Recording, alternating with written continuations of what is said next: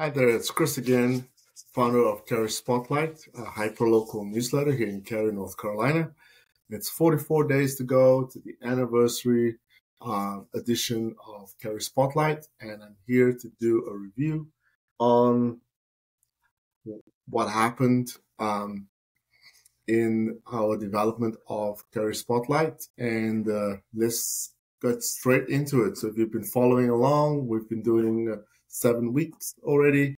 Um, we've uh, covered a lot of ground as to how we've made our decisions as to which items go into our newsletter.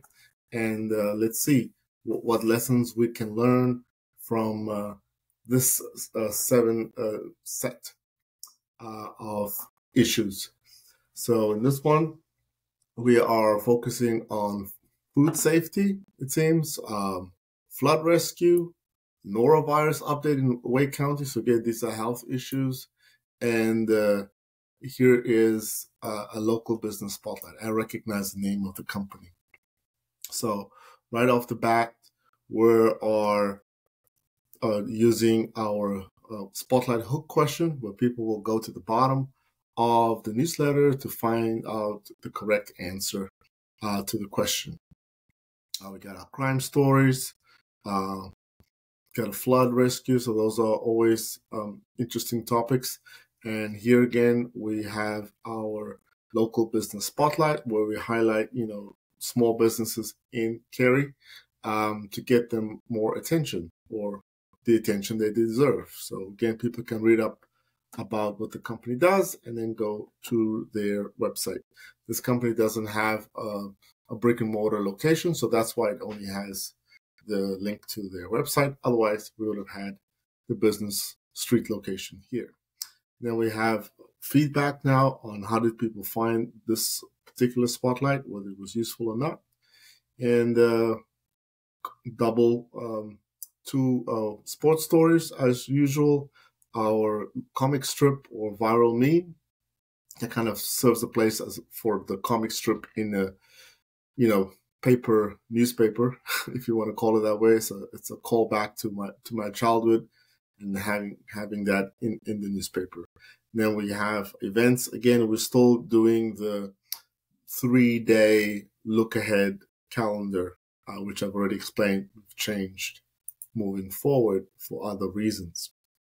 Um, here we're gonna go with another crime story. NC State again unfortunately cr- crime happening.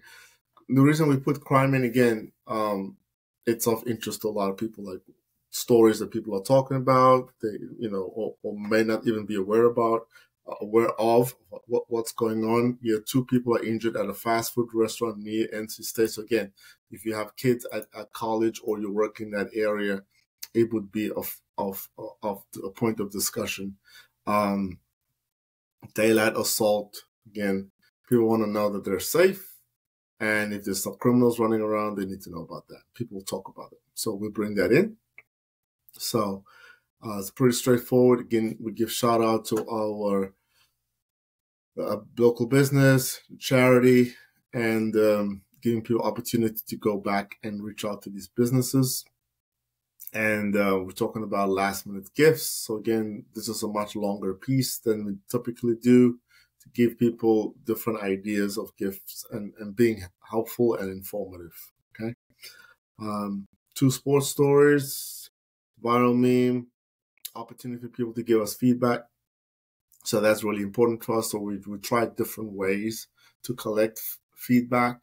Um, what we found is that the reader poll, uh, people, if you give them the correct options, they'll actually add more to just a yes no they'll they'll give the reasons why as well so um, we've we've abandoned this style of feedback and, and use more the kind of radio button where people can click their vote and then if they want to add more they can add more uh, comments to that so that's something that we, the style that we've moved to uh, let's see. This one is issue 59. All right, it's another local business spotlight. So again, we have a lot of opportunities to, to work with local businesses and tell their story. and uh, Mickey Mouse was in the news at that time because the old Mickey Mouse uh, patent had expired or copyright had expired, and people were able to use it. So that's an interesting thing. Uh, let me see. Yep, here's the local business uh, spotlight um, for this lady and her organization.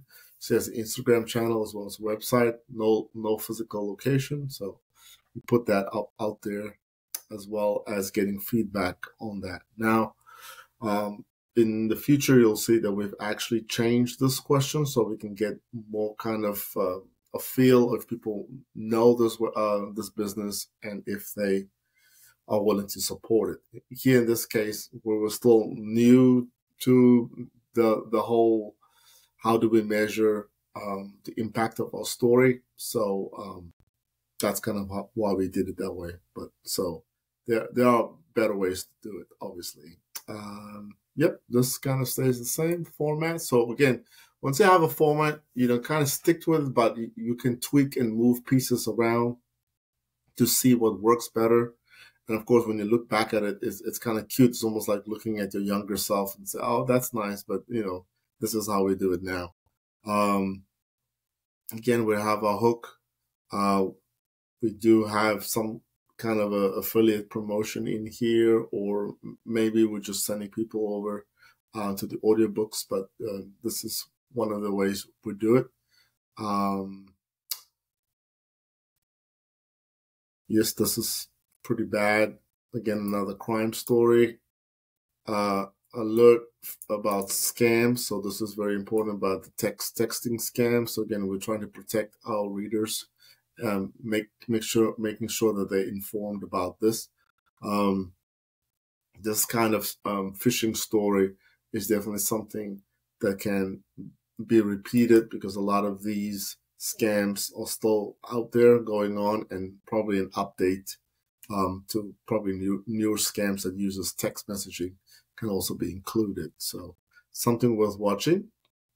Here we have a local business spotlight, and Yet once again, second time we were able to get a video from this business and uploading to our YouTube channel where we could um, give them extra exposure so people can actually go and watch um, the service being performed. So again, feedback on that. And our two sports stories and uh, three events. Now again, already spoke about the change in format there. Uh, the, st- the stores we're highlighting here is I guess this is like the week of scams. So these are all the holiday scam stories.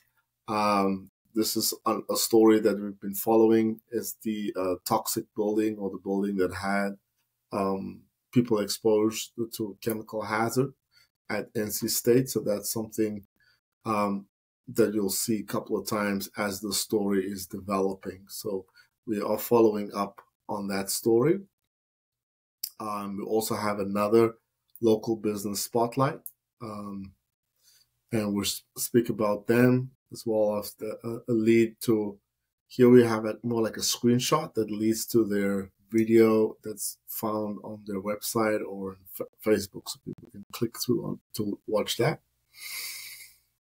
Mm, the rest of these are pretty standard, nothing special here. And then again, our two specialty editions at the end of the week. So we're talking about small town charm in Cary, so uh, traveling around Cary, doing people coming to Cary to visit.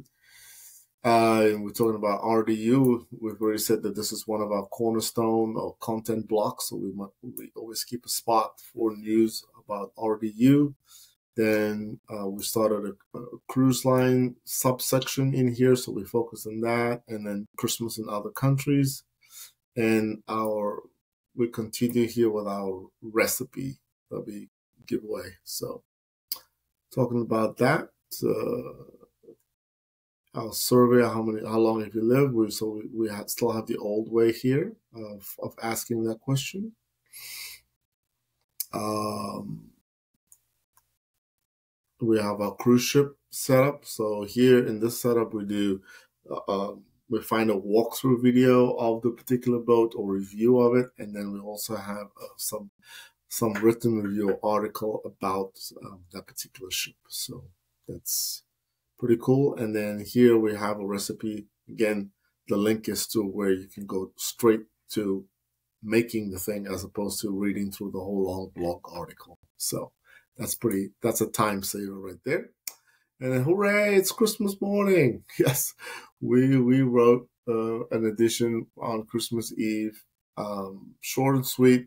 Luckily it was, um, you know, the real estate edition. So we can get the data early, send them actual personalized message about um, wishing them Merry Christmas, and then had the summary of the of the, the, the main stories that came out in, in the last week on mortgage and real estate right there with links to the source uh, documents. So that's that was pretty cool.